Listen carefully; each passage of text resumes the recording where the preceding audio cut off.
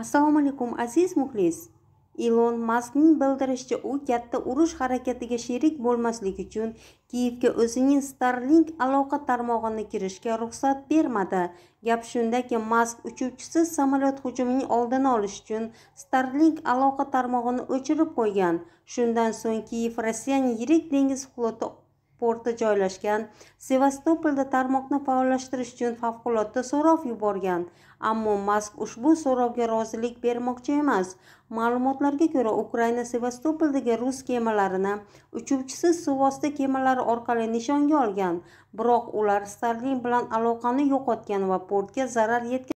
Mana bu minoxidillarni o'n o'n besh undan tashqari germanskiy minomax kompaniyasini o'n besh foizlik undan tashqari o'n olti foizlik minoxidillarimiz bor. Zakaz berish uchun nomerlar. Hoziroq buyurtma beramiz yetkazib berish bepul. Bizning ofis magazinlarimizga metro avtozavodskiy uchinchi vходdan chiqishingiz bilan chap tarafga to'g'ridagi обувной sentrga kirishingiz mumkin. Обувной sentr ichiga kirishinglar bilan o'ng tarafda abu saxiy yozib qo'ygan shuni ichiga kirasizlar.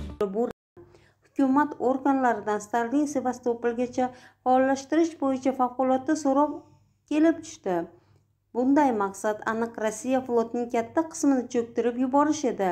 Agar men ularning iltimosiga rozi bo'lganimda spacex katta urush va mojarolarning kuchayishiga aniq sherik bo'lar edim deydi mask. U shuningdek ikki tomonni sulh tuzishga chaqirdi va mayda yerlarni qo'lga kiritish uchun odamlar o'layotgani bu ularning hayotiga arzimasligini aytib o'tdi.